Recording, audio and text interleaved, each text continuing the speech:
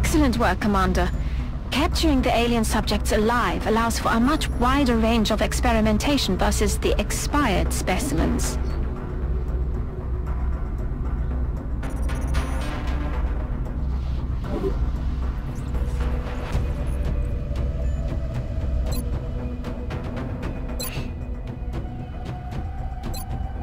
Interrogate Muton Elite.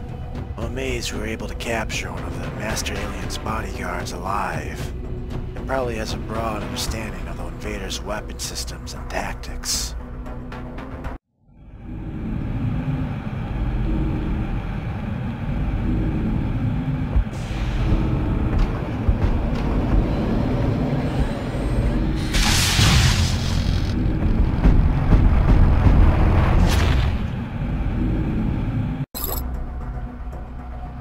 Similar to the muton species our troops have battled on the field, this particular captive is different. We've seen evidence of an inherent intellectual capacity not found in the other variants, and we believe this elite muton serves a more defined role within the invasion force. The captive's sheer physical power and increased savvy made its interrogation both dangerous and exhilarating. After establishing an enhanced security protocol to deal with the risks involved, we began the interrogation process using our previously established techniques. As it turns out, this captive had the distinct honor of serving as a guard with an alien force, and had a complete understanding of the various weapon systems available to the invaders. With this knowledge in hand, I believe this information will greatly reduce the time we spent researching and developing these advanced new weapons.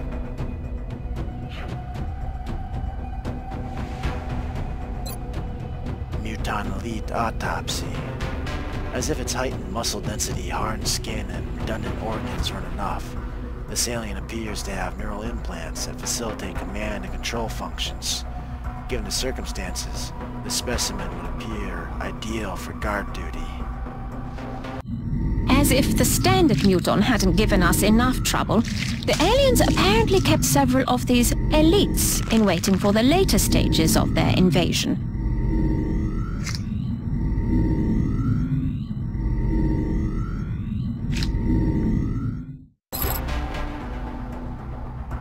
As if the standard muton had given our troops enough trouble, the aliens apparently kept several of these elites in waiting for the later stages of their invasion. Although they seem to have the distinct honor of serving as guards within the alien hierarchy, our autopsy of the specimen reveals little in the way of distinguishing anatomical traits versus a typical muton. Aside from various improvements to their armor, primary difference appears to be a slightly enhanced intelligence, which makes them more effective combatants.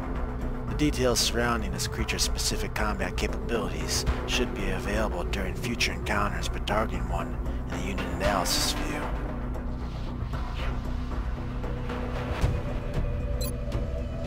Interrogate Ethereal. We know this captive is harboring an incredible pool of psionic energy, a fact that is not lost on our staff who are quite concerned about working in close proximity to the creature. In any case, we have no choice but to conduct a thorough interrogation of the subject if we hope to gain anything of value from it.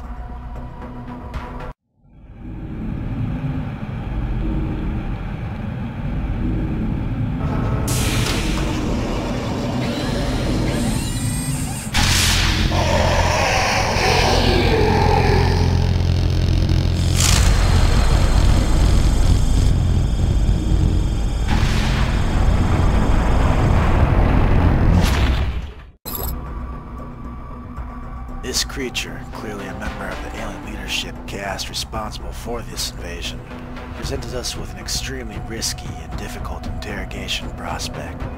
Despite our previous experience in safeguarding the facility from the potential effects of the abilities exhibited by the psionic alien species, this captive's power exceeded the previously established limits of our testing. Much of the information we were able to discern from this creature was cryptic at best, as it made every effort to resist even our most invasive procedures during the interrogation. However, experimental imaging equipment we had been using to monitor the alien's brain activity did reveal a very unusual pattern of neural activity that we believe is closely tied to the creature's power. This information should prove useful in reducing the time required for our research in a variety of fields.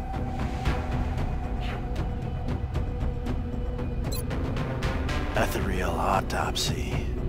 This alien appears physically weak, even frail, but appearances can be deceiving. It is a remarkably hardy specimen with a brain chemistry and structure utterly unknown to our science. This specimen appears to be at the top of the alien hierarchy, and for good reason. As you've probably seen, its physical form is not suited for combat by any means. However, these elders have an incredible pool of psionic energy at their disposal, which helps to explain why the other species are subordinate to them. This specimen appears to be at the top of the alien hierarchy, and for good reason. As we've noted in the field, its physical form is not suited for combat by any means. Their bodies actually appear to be quite frail, with evidence of atrophy and muscular degeneration having occurred over an extended period of time. This is not surprising as initial radiocarbon dating indicates this particular creature could be several thousand years old. Unlike the other specimens we've examined, there's little to indicate that it was genetically enhanced, at least not to the same ambition as the others. Strangely enough, we have uncovered similarities between the ethereal brain and that of the sectoid commander. Both show the same enhanced synaptic connections, confirming our suspicion that this is the likely source of their power. These ethereals appear to have an incredible pool of psionic energy at their disposal, more than anything we've previously encountered which helps to explain why the other species are subordinate to them. The unit analysis view should provide additional information about this creature's combat capabilities in the field.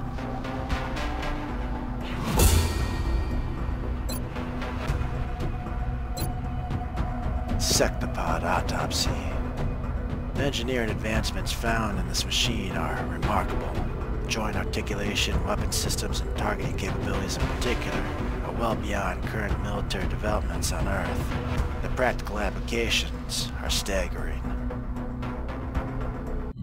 This heavily armored unit is fully mechanized, though we're still not sure if it has an organic component within.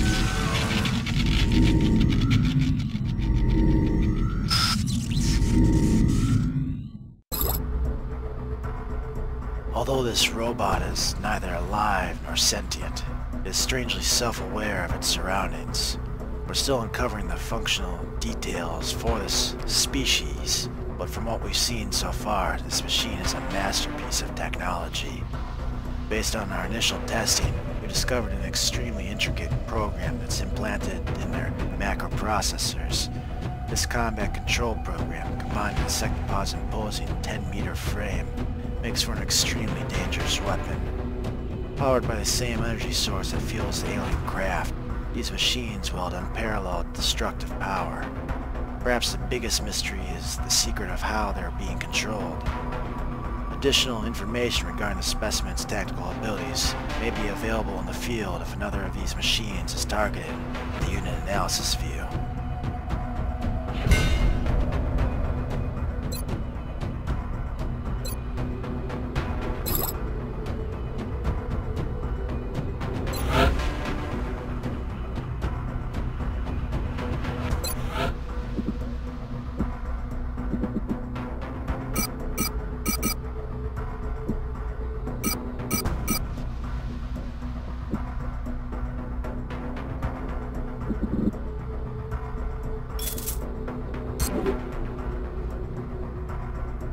We're coming down to the wire here. Now that we've backed the aliens into a corner, I think we'll see what they're really made of. Personally, I expect nothing short of pure desperation in their resistance. They've invested too much to go down without a fight.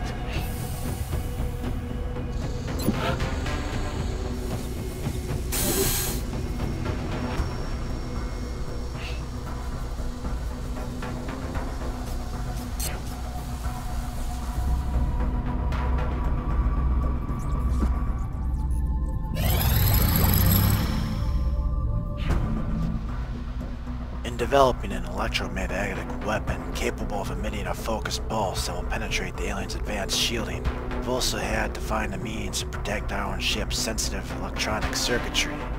The functionality of the weapon itself had already been well established by previous testing conducted by Earth's various terrestrial military forces, leaving us with little to determine outside of the energy requirements and effective range. Although the additional shielding required to protect our systems will necessitate a reconfiguration of our ship's hardpoints for the weapon's mount, I expect the engineering team will have no trouble fitting the device into position. If our pilots can successfully deploy the pulse against the alien craft, we should be able to bring down the UFO with minimal damage to the artifacts and equipment carried inside.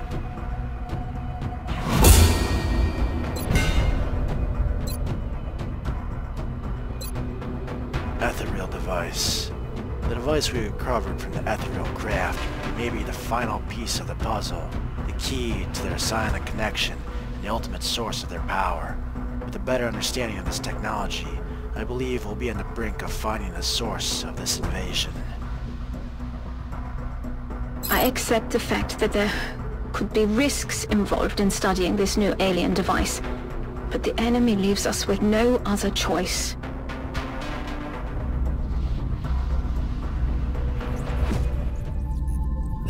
Got a large contact and it's coming in fast. We're going to have a difficult time keeping up with this one.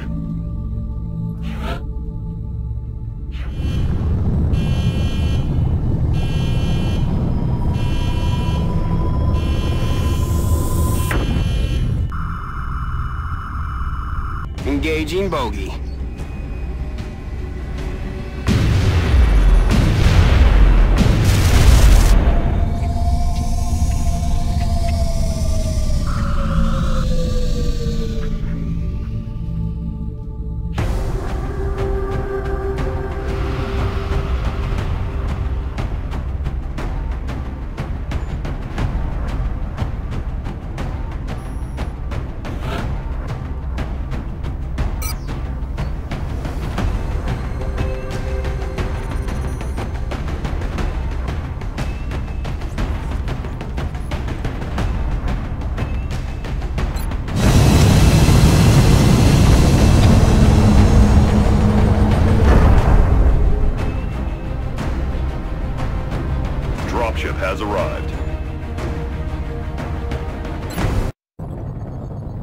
Ready to deploy. Our AO is within the continental United States. It looks like the alien crash site is in a remote area. If we move quickly, we may be able to secure the site before the aliens have time to regroup.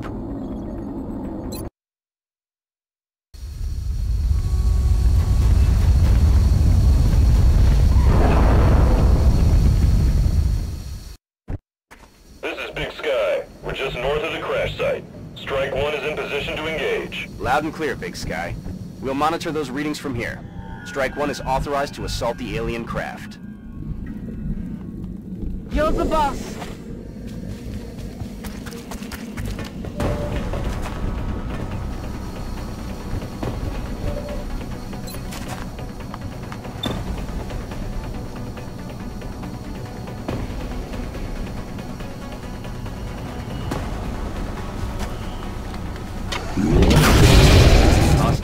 Positive enemy contacts.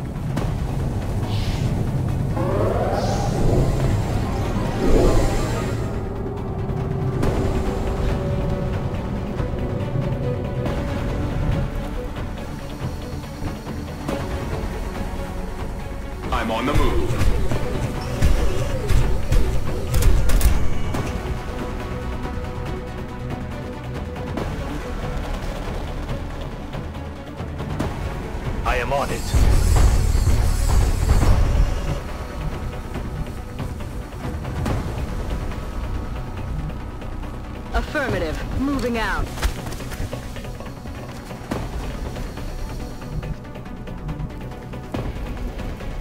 On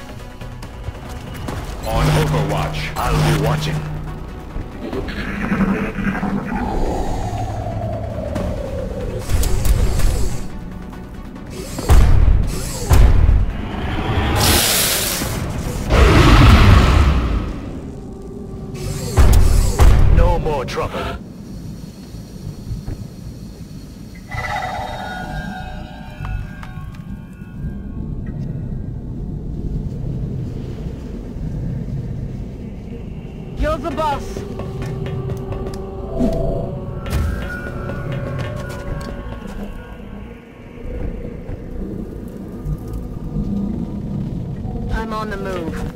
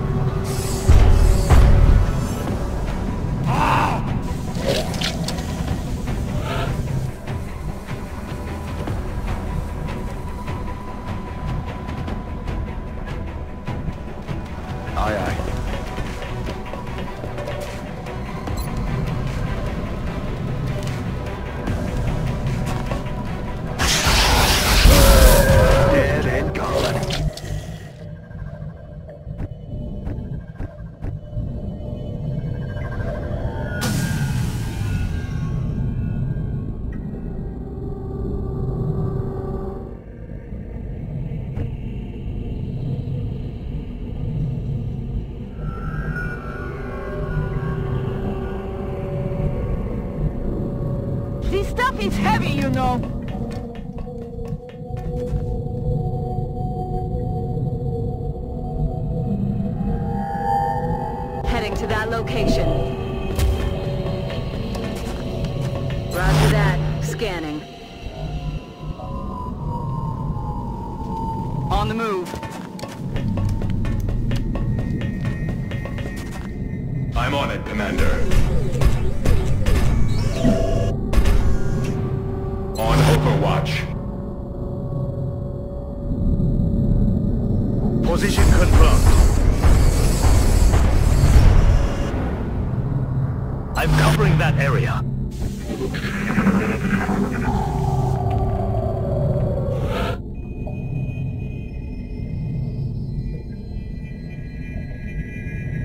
Headed there now.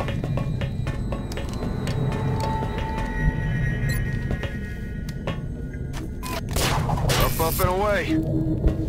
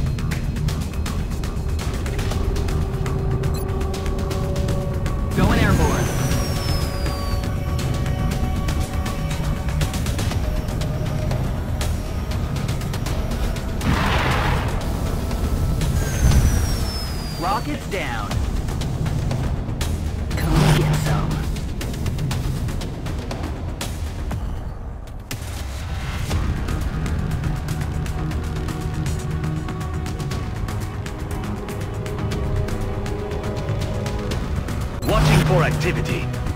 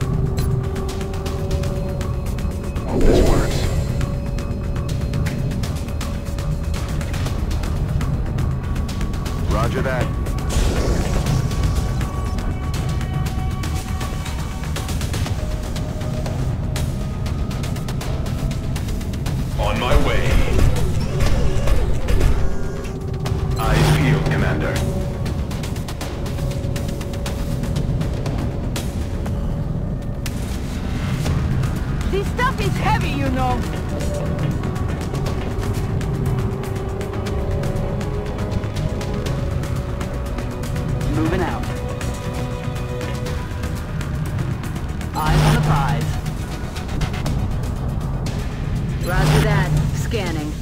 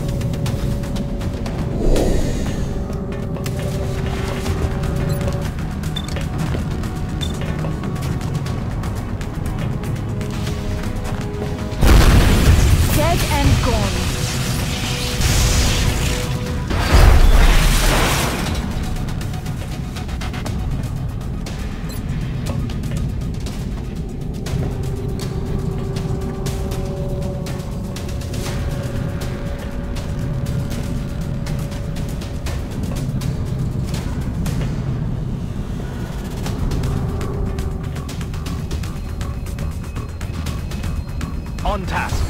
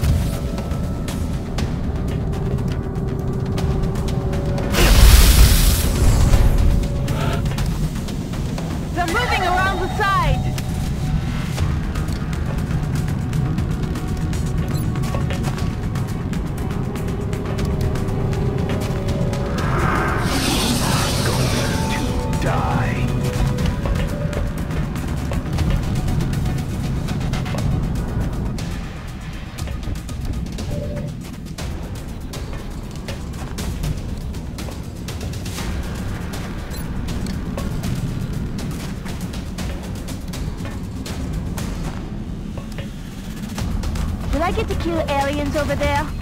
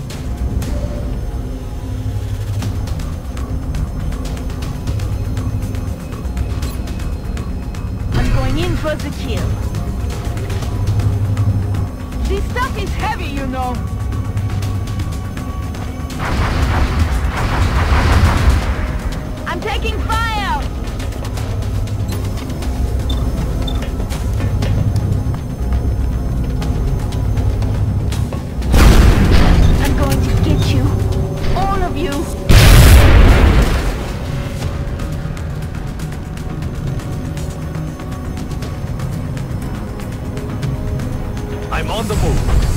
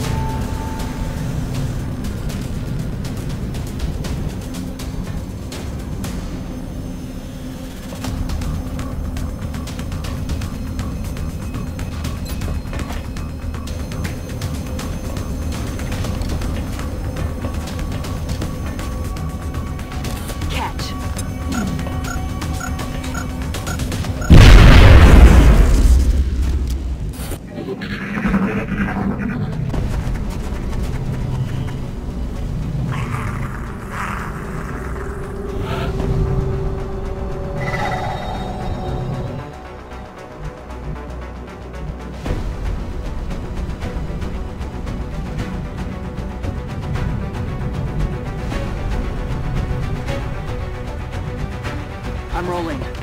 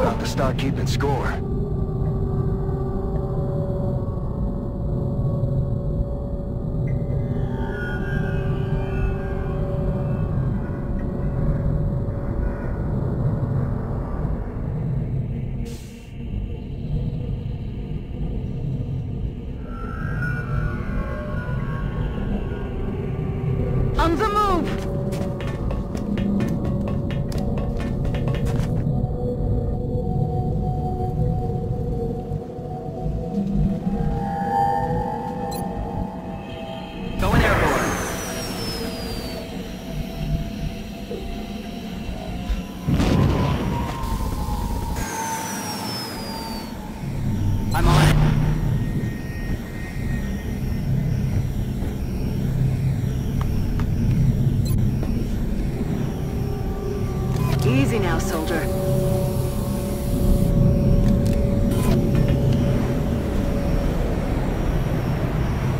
I am going.